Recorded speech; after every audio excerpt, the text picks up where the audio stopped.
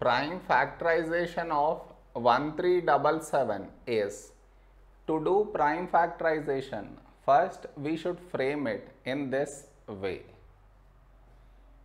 1377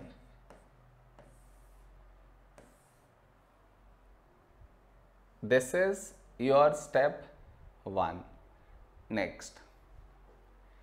In this number last digit 7 not even so this is not divisible by 2 next prime number 3 to check divisibility by 3 for that we should add the digits.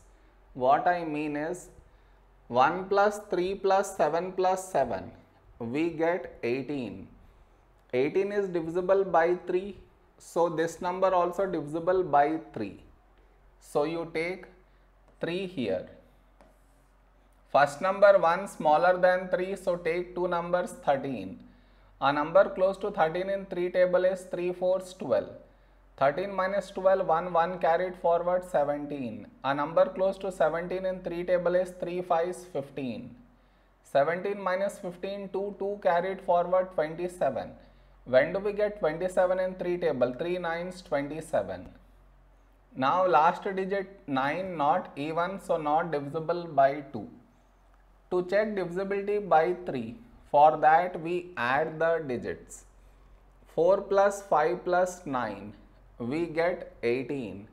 18 is divisible by 3. So this number also divisible by 3. So take 3 here. First number 4, a number close to 4 in 3 table is 3 ones 3. 4 minus 3, 1, 1 carried forward 15. When do we get 15 in 3 table? 3 5 is 15. The other number 9. When do we get 9 in 3 table? 3 3 is 9. Now last digit 3 not even, so not divisible by 2. To check divisibility by 3 for that we add the digits. 1 plus 5 plus 3 we get 9. 9 is divisible by 3 so this number also divisible by 3. So take 3 here. First number 1 smaller than 3 so two numbers 15. When do we get 15 in 3 table? 3 5 is 15. The other number 3, when do we get 3 in 3 table? 3 1s 3. Now last digit 1 not even so not divisible by 2. To check divisibility by 3 for that add the digits. 5 plus 1 6.